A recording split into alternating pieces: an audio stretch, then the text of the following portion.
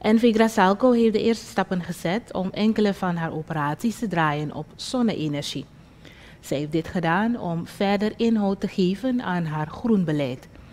Het staatsmijnbouwbedrijf heeft in dit kader afgelopen vrijdag een overeenkomst gesloten met Cleantech Suriname NV.